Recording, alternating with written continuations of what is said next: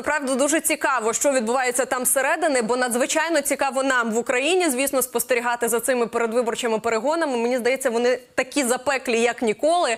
Як відчувається все безпосередньо у Вашингтоні? Розкажи, Е, як сприйняв народ ось таке рішення Джозефа Байдена? Е, Якщо говорити про звичайних людей, то звичайні люди вчора зібралися біля Білого Дому, і до прикладу, Голос Америки вони робили матеріал, де люди реально плакали. Я теж спілкувалася з своїми друзями американцями. То мої друзі американці теж говорили про те, що коли вони почали ці побачили ці новини, то вони теж е, трішки розплакалися, тому що відомо, що Джо Байден він мав таку велику політичну кар'єру, і ця історія, взагалі, коли він відмовився брати участь у перегонах, це вперше за 50 років таке відбулося. І звісно, взагалі, всі е, пристрасті, які відбуваються тут в Америці останніми е, днями, останніми тижнями, навіть це дуже дуже багато новин, і дуже вони такі насичені новини. І якщо говорити не тільки про звичайних американців, а взагалі про те, що і як аналітики писали про це рішення Байдена, власне, відмовитися брати участь у президентських перегонах цьогоріч, то тут важливо зазначити, що дуже багато е, аналітиків з'явилося саме. Е, в пресі, і до прикладу, вчора, як тільки з'явилася ця інформація, це у Вашингтоні був обід. Е, у в Україні я знав, був вже е, знаю, був вже пізний пізній вечір. І коли з'явилася ця інформація, то ввечері, до прикладу, видання видання The New York Times спробувало проаналізувати, що Байден робив до того, як він прийняв це рішення. І е, видання The New York Times повідомляє, посилаючись на власні джерела, що можливо Джо Байден зателефонував Камілі Камалі Харріс перед тим, як він прийняв це рішення. Пізніше він теж поспілкувався з декількома демократами. Теж після того, е, е, після того як поспілкувався саме з Камалою Гарріс. Перед тим декілька видань повідомляло про те, що е, Джо Байден постійно питався, які є шанси Камали Гарріс проти е, головного противника. Е, демократів республіканця Дональда Трампа. Якщо все ж таки говорити про те, що власне теж відбувалося в медіа, то от видання The New Times, про яке про яке я говорила, вони також зазначили, що е, важливим таким моментом було, що це було тільки лист від Джо Байдена, тому що зараз ми знаємо, президент Сполучених Штатів хворіє на ковід, і е, з'являтися на публіку, до прикладу, з відео було недоречно, тому що е, е, можливо він не має кашель, можливо, він не не, не виглядав би презентабельно, так і е, тому з'явилося власне оце повідомлення на сайті Білого Дому, а пізніше в соцмережах. Якщо також говорити, е, то про пресу, то видання The Economist сьогодні зранку е, розклало якраз шанси Камали Гарріс е, проти е, Дональда Трампа, і тут важливо зазначити, що вона жінка, і це дуже ключове.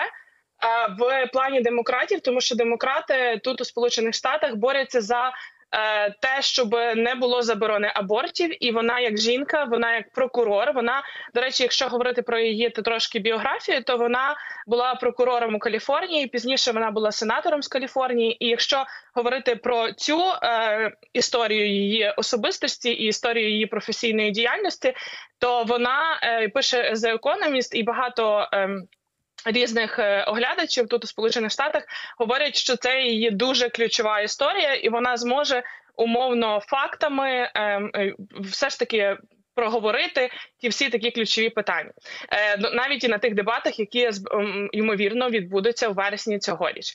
Важливо ще також зазначити, що ем, вона видання за Economist, власне сьогодні зранку також повідомило, що тут е, їй варто е, Камалі Гарріс варто зосередити більше розповідей, більше фактів про кордон і про нелегальну міграцію, оскільки республіканці цю історію і цю тему використовують теж дуже сильно у своїй е, у своїй політиці, у своїй передвиборній кампанії. І тут важливо також якраз і звернути увагу на цю історію і більше зібрати фактів, тому що республіканці використовуються проти демократів.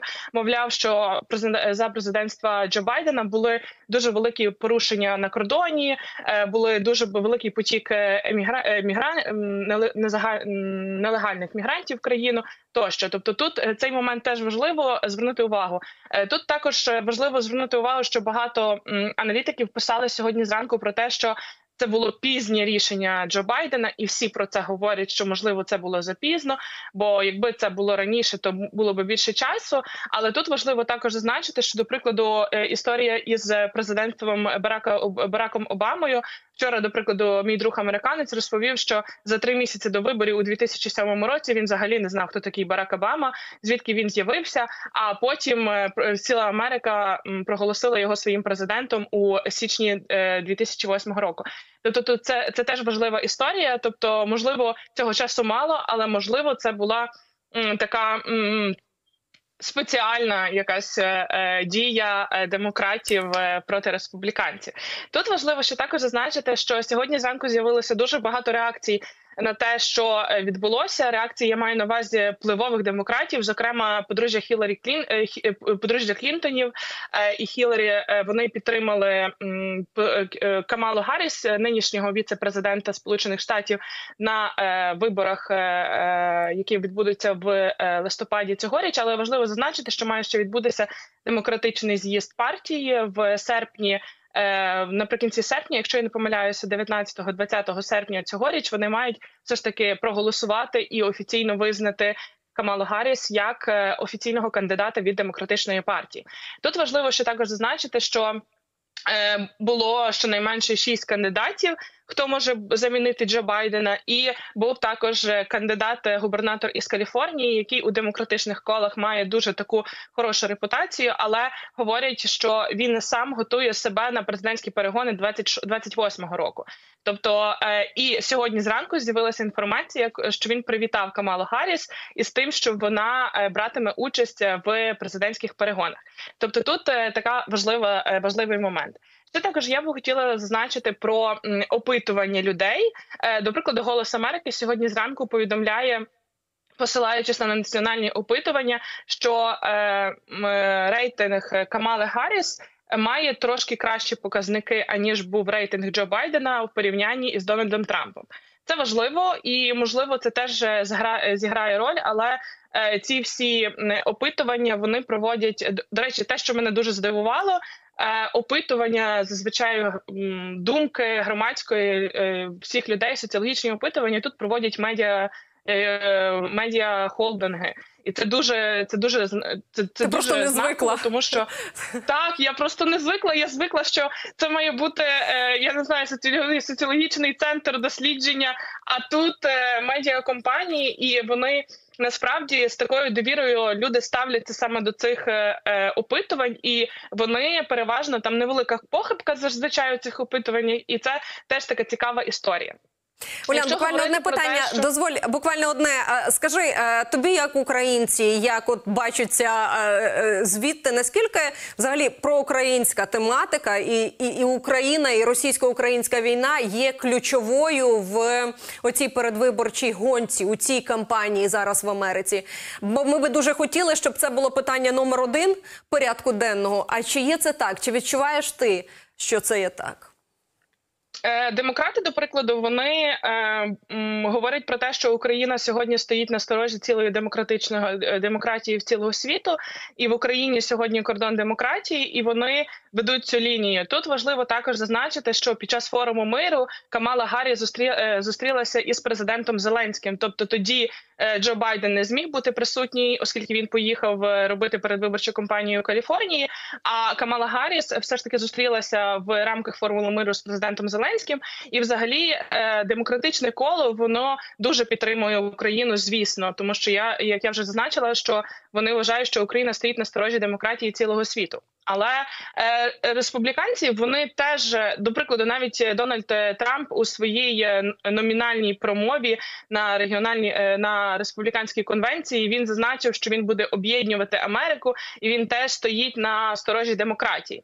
Тобто, цей е, цей ключовий момент е, демократичної е, складової суспільства об'єднує і республіканців і демократів, і українські питання в цьому ключі присутні як головне. Якщо говорити про республіканців, то вони поки говорять і називають своїм головним ворогом Китай. Звісно, питання України до прикладу в в промові Джей Ді Венса, як- який є кандидатом е, віце-президенти від республіканців. Е, він у своїй номінальній промові, промові перед республіканцями перед цілою перед з'їздом партії, він не година була його промова, і він не зазначив нічого про Україну. Він нічого не сказав. Попередні, звісно, були дуже багато його висловлювань про те, що Україні потрібно вести перемови з Росією тощо. Але у своїй промові він нічого про це не сказав. Але тут важливо зазначити, що якраз віце-президент у Сполучених Штатах це внутрішня посада, і він мало відповідає за зовнішню політику. Але е, Джей Ді Венс, якщо говорити про республіканців, е, його називають людиною, яка буде нашіптувати Трампу у вухо.